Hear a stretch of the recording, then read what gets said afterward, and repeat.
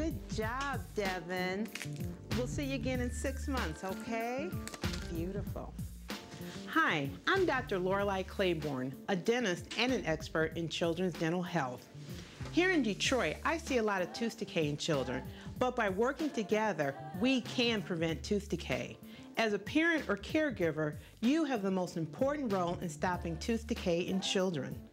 You can help your child be free of tooth decay. During the next 15 minutes, I'm going to share with you information on prevention and dental health so your child stays cavity free.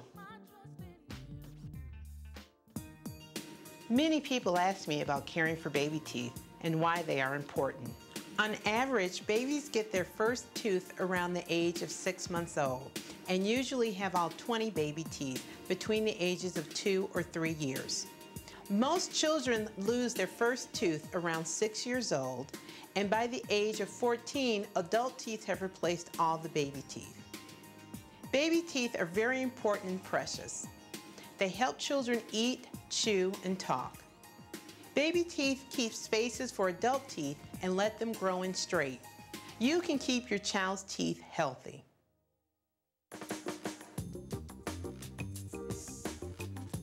All teeth, even baby teeth, have a hard outer layer called enamel.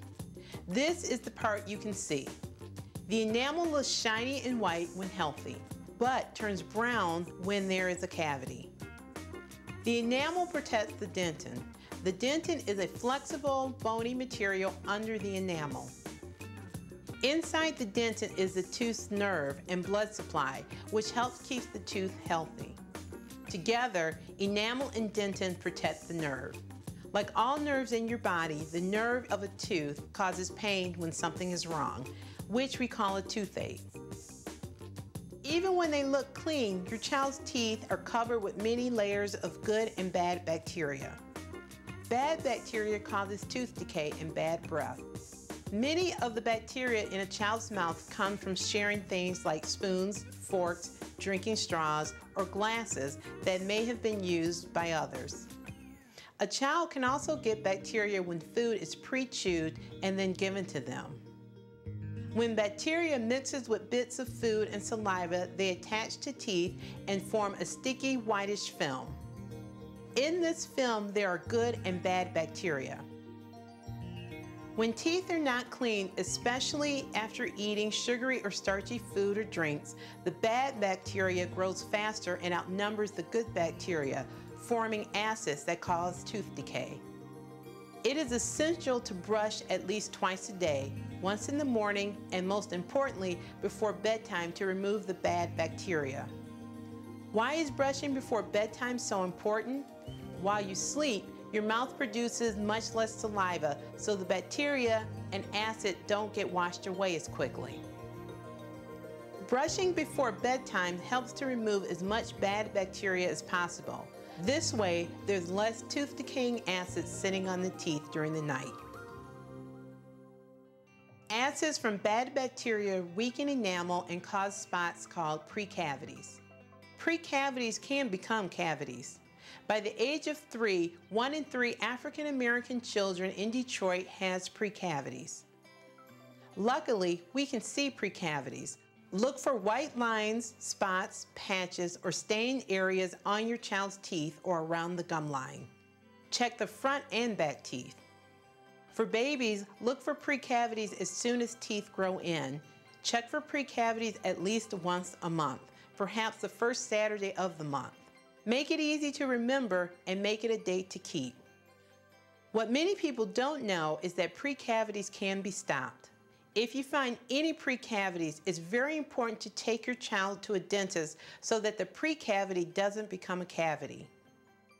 You can also keep precavities from becoming cavities by brushing with fluoride toothpaste and avoiding sugary foods and drinks.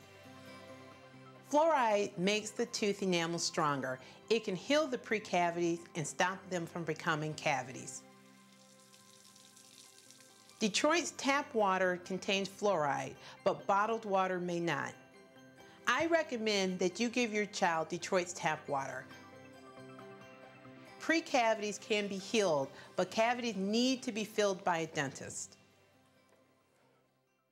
Some of my patients believe that cavities in baby teeth don't matter since baby teeth fall out anyway. That's not true. Baby teeth are very important.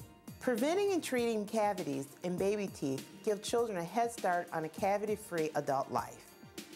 Baby teeth are important in helping children learn to speak. Children with toothaches or teeth that need to be pulled have a harder time pronouncing words. Children may miss school or have problems concentrating in school if they have a toothache. And children with healthy, cavity-free baby teeth tend to smile more and feel more confident. Some people believe that most children will get cavities anyway. Well, I have good news. Cavities can be prevented. You can keep your child cavity-free. Our teeth are a precious gift made to last a lifetime, so we need to keep them healthy. You can keep your child's teeth healthy with good brushing and eating habits. Toothbrushing is important, especially at bedtime. I will show you how to keep your child's mouth clean and brush your child's teeth at different ages.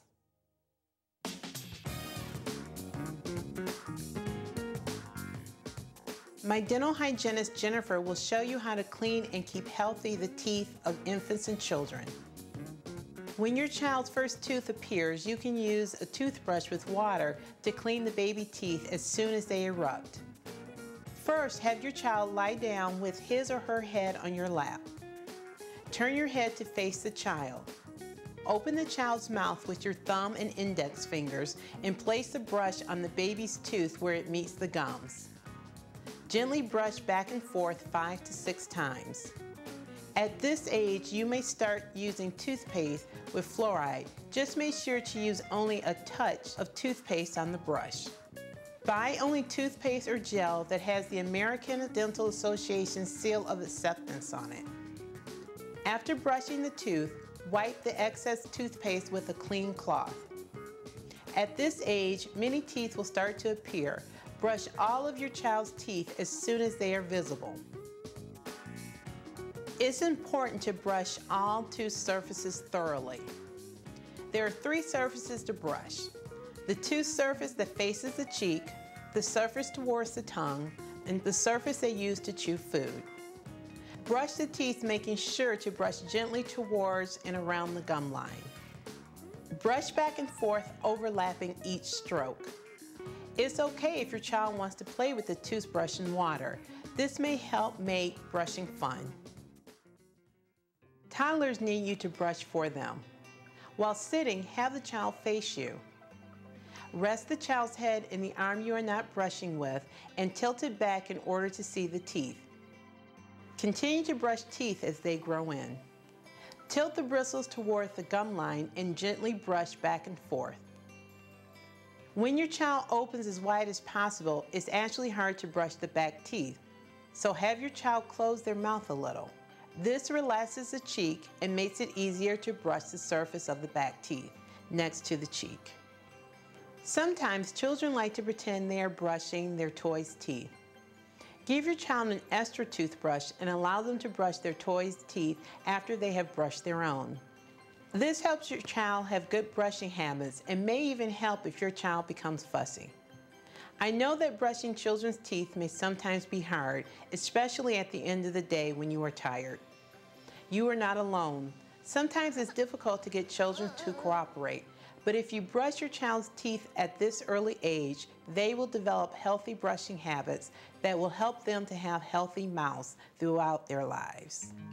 Between the ages of three and five, children can brush their own teeth, but they may need your supervision while they are brushing.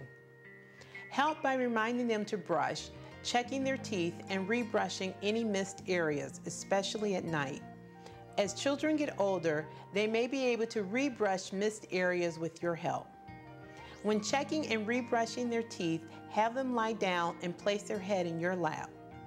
This way, you can see directly into their mouths and do a better job. By age six or seven, children can brush their own teeth, but it is still very important for you to check their brushing several times a week. At this age, children have the coordination to brush in a circular motion. Jennifer is checking how well Michael brushed his teeth. You can do the same thing at home by having your child lie down on a sofa or with their head in your lap. You can also have the child sit or stand in front of you facing away and tilting their head back so you can see their teeth. Remember to praise your children for brushing and point out areas they have brushed well. Also, point out areas they have missed and show them how to clean those areas.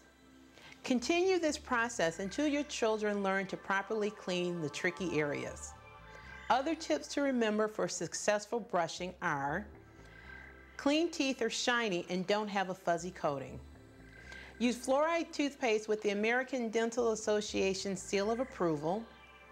Children should not swallow toothpaste, and a child-sized brush makes cleaning easier. Only use toothbrushes labeled soft and don't share toothbrushes. Spin brush or electric toothbrushes work well and make brushing fun. Praise your child for the areas they have cleaned well. Remember to be patient. Learning new skills and habits may be frustrating for your child. Let your child know that he or she is doing a great job. You can do this in different ways. Give a hug, Give praise for being a good helper or for doing a good job. Read a story or play games with them. Watch cartoons or videos with them. Tell your child that your teeth sparkle and look pretty. You are the most important role model in your child's life. Your child is more likely to brush at bedtime if you do. Brush your teeth together every night and check each other's teeth after brushing. You can prevent cavities. Help your child with brushing every day.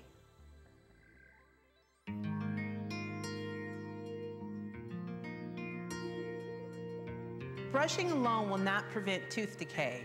It is important to consider what your child is eating and drinking. Many things people think are okay are actually bad for your teeth, including sugary drinks like sugar-sweetened fruit juice, pops, and sports drinks. Some examples include candies, cookies, cakes, and chewy fruit treats, crackers, and cereals. Sugar is added to almost all processed food and drinks because it makes them tastier. Read the package label and you will see sugar is listed. It is sometimes called by other names like corn syrup or fructose.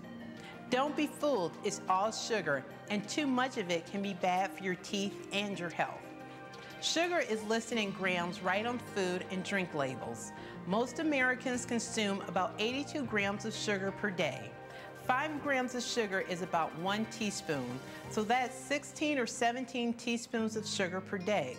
That's a lot. You should only have 50 grams of sugar a day or about 10 teaspoons from everything you eat and drink. One can of pop has 45 to 60 grams of sugar. That's a whole day's worth of sugar. Most of the sugar a child gets in a day comes from sweet drinks like pop. Children older than two years can have juice or pop, but no more than one can or serving a couple of times a week. Younger children should have less sugar. This is very bad for their teeth. When your child is thirsty, give them milk, water, or unsweetened juice. Putting children to bed with bottles filled with sugary liquids can lead to cavities. When a baby or toddler drinks sugary liquids during a nap at night or for a long time during the day, the liquid coats the teeth. The bad bacteria have a long time to turn sugars into acids that attack the tooth enamel and cause cavities. If you feel you must put your child to bed with a bottle, fill it with tap water only. Children will get used to the taste and the water is better for them and their teeth. Many parents ask me how they can reduce sugar in their children's diet.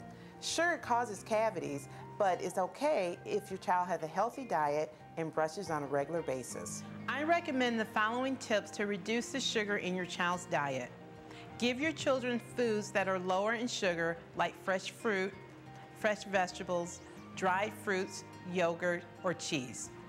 Keeping fresh fruits and veggies washed and cut up in the refrigerator makes this easier. Canned fruits that don't have sugars added are also a good choice. These may be labeled light or reduced sugar or in their own juice. Instead of sweetened drinks and pop, give children water or water mixed with unsweetened juice. Children should drink water or milk during the day. 1% or 2% milk is best for children over two. It is also important to teach your children to make healthier choices when away from home.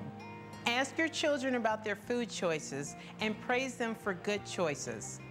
Be positive and be a good role model and encourage your family and friends to offer children healthy food choices. If your child is going to eat or drink a treat high in sugar, have it at the end of the meal. It's very important to make sure your child's teeth are brushed after meals, and especially after sugary snacks or drinks. Many people think there is nothing they can do to stop their children from getting cavities. Many children don't develop cavities and none have to. I'm going to share with you information on prevention and dental health so your child stays cavity free. Check for precavities at least once a month. You can make sure your child's teeth are cleaned at least twice a day with fluoride toothpaste beginning at age one. Remember, it's especially important before bedtime and after eating sugary foods and drinks. Brush newly erupting teeth to keep them healthy. Check whether the areas where bacteria hide are cleaned after toothbrushing. You can limit the amount of sugar your child eats and drinks. If your child eats high sugar foods or snacks more than twice a day, Limit this to no more than two times a day. Give fruit, veggies, and water instead. Vegetables and fruits are better for teeth and have more vitamins and minerals and fiber that growing children need. Children younger than two should not drink pop. Only use fruit juice with no added sugar. If you put your child to bed with a bottle, fill it with tap water only. For children two years and older, limit the amount of sugar they eat or drink. They should have no more than one can of pop or juice a couple of times a week. Drink Detroit tap water and milk during the day. And remember to visit your dentist for regular checkups. Hi, Michael. How are you today? Good. Good. It only takes a few minutes a day to prevent tooth decay. You can help keep your child cavity free by following these recommendations. Cavities don't have to happen. You can help. Thank you for your attention and participation.